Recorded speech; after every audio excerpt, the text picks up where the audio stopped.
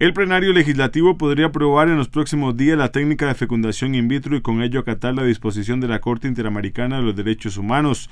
Dicho organismo concedió plazo hasta el 20 de diciembre próximo para que el país legisle sobre la aplicación de la técnica, suspendida por disposición de la Sala Constitucional en el 2000.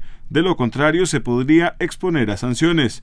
Los legisladores Alicia Fournier, Rita Chávez, Luis Antonio Aiza y Justo Orozco llamaron a no extralimitarse en las disposiciones, más bien piden una ley restrictiva y que no ponga en riesgo el derecho a la vida. Este proyecto que está aquí, este texto sustitutivo, perfectamente eh, cumple con los requisitos de la Corte, cumple con lo que la Corte le pide a nuestro país, da eh, permiso para que se practique la fe, pero regulado.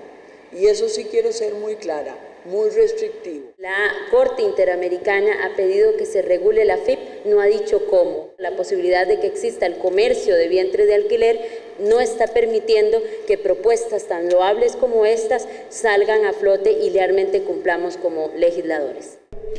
Los legisladores promueven un texto sustitutivo que tiene como objeto regular la aplicación de la fecundación in vitro como parte del tratamiento de la infertilidad prescrito por un médico y que será aplicado después de haber descartado otras terapias que demuestran la ineficacia para lograr la procreación natural.